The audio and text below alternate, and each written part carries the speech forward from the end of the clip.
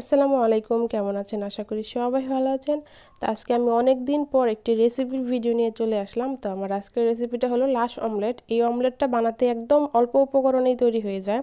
তো এটা বিশেষ করে বাচ্চাদের জন্য খুবই উপকারে আসবে। যেসব বাচ্চারা ডিম, দুধ খেতে চায় না, এটা তাদের জন্য খুবই উপকারে আসবে এবং এই রেসিপিটা ফলো করে আপনারা বাসায় এটা বানিয়ে আপনাদের বাচ্চাদের খাওয়াতে পারেন।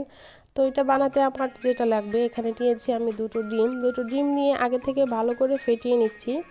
তারপর এতে আমি দিয়ে দিব স্বাদ মতো লবণ, দিয়ে দিব স্বাদ মতো চিনি। চিনিটা আপনারা কম বেশিও দিতে পারেন।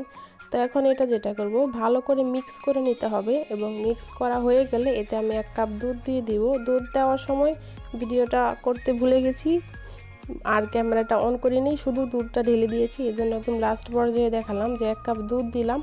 দিয়ে এখন এটা আমি ভালো করে আরেকটু মিক্স করে নিচ্ছি। নিয়ে একটি হাঁড়িতে আমি পানি বসিয়ে তার ভিতরে স্ট্যান্ড দিয়ে এরকম করে আমি বসিয়ে দিয়েছি। তো এই যে বাটিতে আমি এই অমলেটটা বসাবো, এই বাটিতে অমলেটটা ঢালার সময় অবশ্যই একটু তেল মাখিয়ে নেবেন, তাহলে এই বাটির থেকে অমলেটটা তাড়াতাড়ি উঠাতে খুবই সুবিধা হবে। তো এটা এখন আমি বিশ থেকে পঁচিশ মিনিট কুক করলাম। কুক করার পরে দেখেন ঠিক এরকম হয়ে গেছে। একদমই লাশ অমলেটটা তৈরি হয়ে গেছে।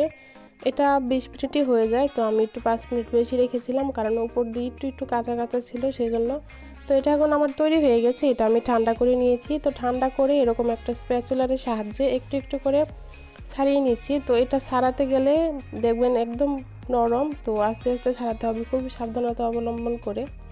তো এখানে দেখতে পাচ্ছেন যেটা হয়েছে, এই অমলেটটা ঢালার সময় এটা ভেঙে গেছে, কারণ আমি ঠিকভাবে ঢালতে পারিনি। তো যাই হোক, ভেঙে গেছে সেটা ব্যাপার না, কিন্তু এটা দেখতে সুন্দর হয়েছে এবং খেতে অনেক মজা হয়েছে। দেখেন, একদম পুডিংয়ের মতো এটা দেখতে, কিন্তু এটা খেতে অনেক ভালো লেগেছে। তো এই হলো আমার আজকের ভিডিও, আমার লাস্ট অমলেট। তো এই ভিডিও যদি আপনাদের ভালো লাগে, তাহলে আমার চ্যানেলের পাশে থাকবেন এবং আমি আজকের মতো এখানেই বিদায় নিচ্ছি। আবার চলে আসবে ভিডিও নিয়ে, সে পর্যন্ত সবাই ভালো থাকবেন। আল্লাহ হাফেজ।